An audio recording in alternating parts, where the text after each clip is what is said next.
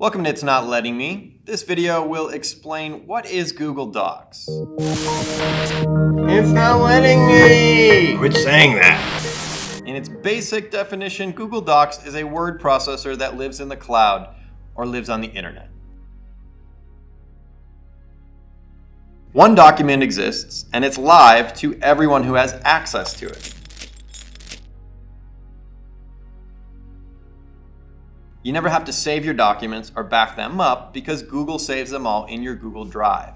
Instead of emailing a Word document back and forth to your collaborators and possibly losing track of who made what changes, you can attach people's email to a Google Doc and edit it live simultaneously anywhere in the world with internet access.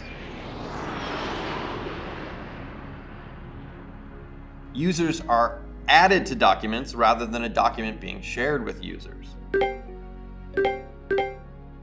Google Docs has spell check just like any word processor. It underlines misspelled words in red and all you have to do is right click it to correct the spelling. There's great tools inside of Google Docs for collaboration. You have three options when sharing Google Docs. Users can view, they can edit, or they can comment.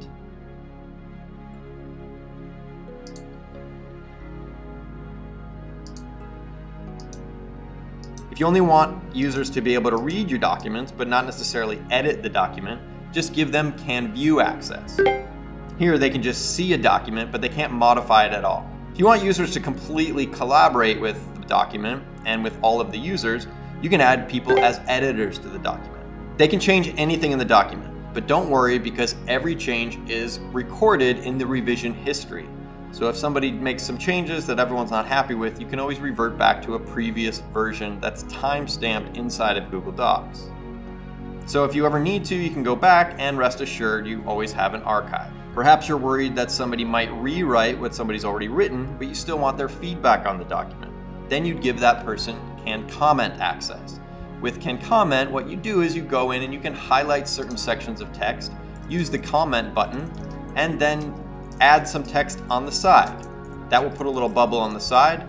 Users can then go in and reply to those comments. They can accept the comments or they can decline the comments. Comments can be replied to, accepted, or rejected. If you're used to using tracked changes in Microsoft Word, you can use comment access as a ways to track changes with collaborators. Couple other great things you can do in Google Docs is you can draw. You can click on the link down below and watch a video about how to draw in Google Docs. In that video, we show you exactly how you can draw a character from South Park.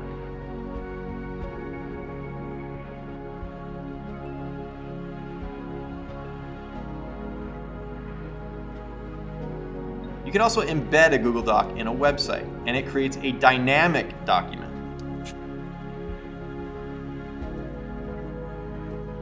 That means that even as the Google Doc is updated, the website will always be updated to show what the Google Doc has. So even if you don't have a whole lot of expertise in designing websites, all you really have to do is author the word processing document in Google Docs and you can be authoring a page that's live on the internet. You can embed a chart in Google Docs from Google Sheets. And so anytime the data in your chart is updated in the sheet, it will automatically be updated in the chart in the Google Doc.